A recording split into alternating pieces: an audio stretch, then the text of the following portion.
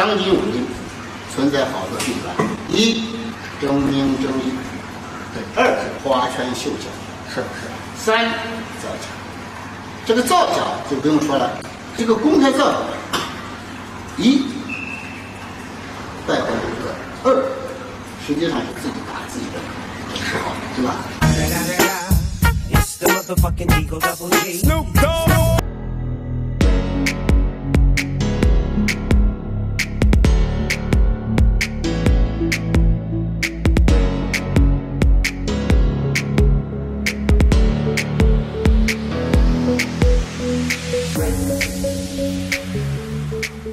欢迎大家来到自由发声，我是来自中国大陆的零零七。没有点关注的朋友，请点一下关注，谢谢。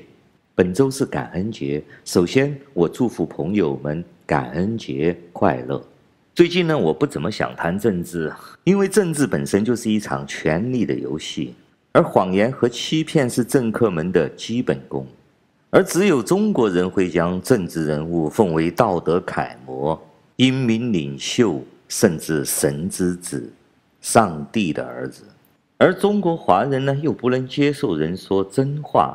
零零七胆敢说了几句呢，结果搞了一身脏水。虽说呢，我决定我的新频道从此以后不谈政治了，只谈花花草草。但是大家都知道，零零七是自由族的人，我在零零七这个频道将会继续一如既往继续讲真话，无论你。喜欢还是不喜欢？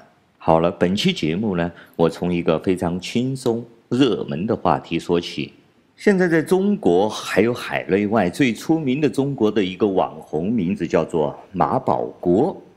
马大师自称是混元形意太极门掌门人，名震江湖。但是，一上擂台呢，几十秒钟被人三次击倒在地，送进医院去抢救，固然是让很多围观的吃瓜群众哈哈大笑，引为笑谈。但是马保国同志爬起来之后，和他的一帮粉丝却拒不认输，而且马大师和他的粉丝们还振振有词，非常的有理由。他们认为。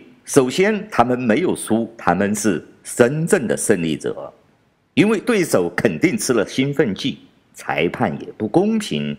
我马大师这次不小心的倒下，绝对是一个阴谋，是徐晓东他们带着外国势力，企图颠覆我中华传统武功的惊世大阴谋。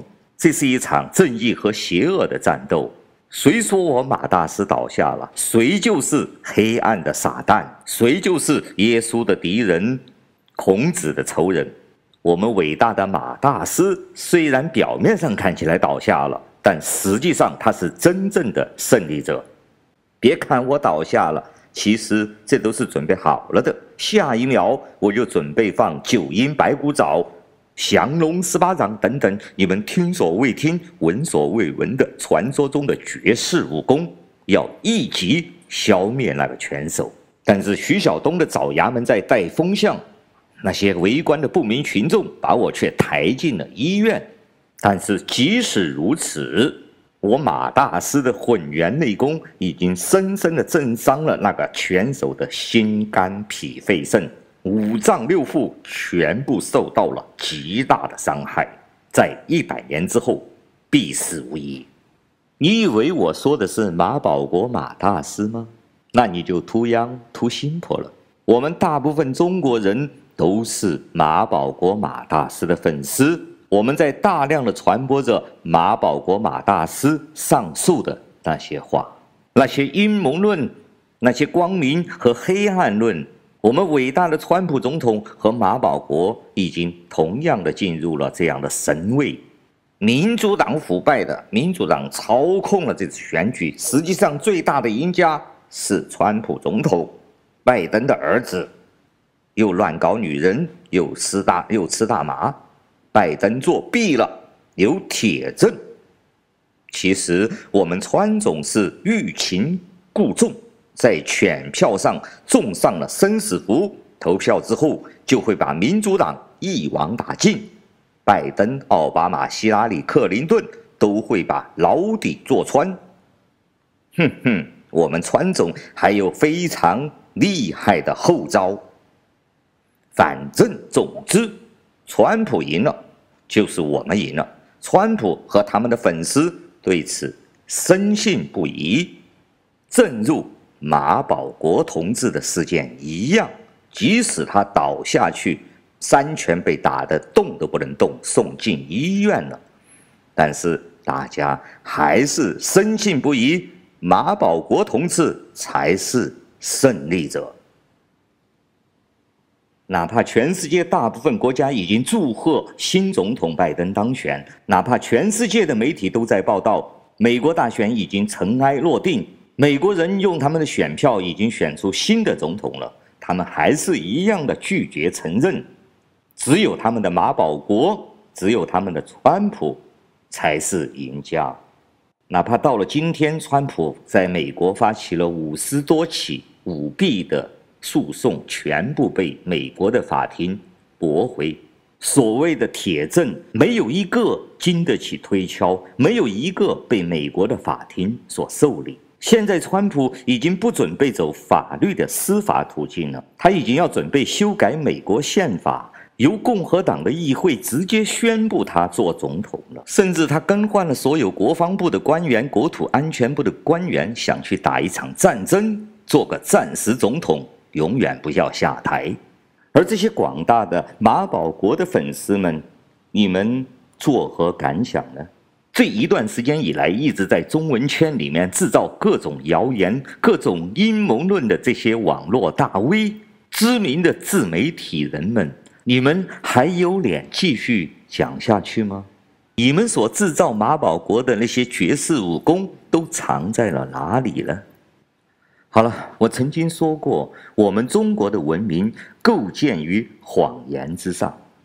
我们中国人也好，华人也好，一分钟也不可以离开谎言。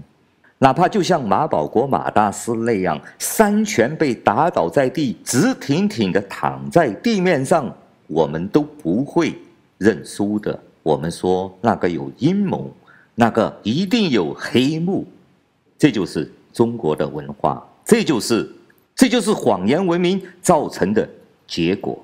我们不敢接受真相，我们也不敢面对现实。我们都活在说书先生的《三国演义》之中。正如这次美国的总统大选，我们不仅仅是谎言的受害者，我们还是谣言的传播者、制造者和真正的信奉者。我们每一个人的心底深处都藏着一个马保国，这才是我们中国人、我们中华文明的可怜、可悲、可恨之处。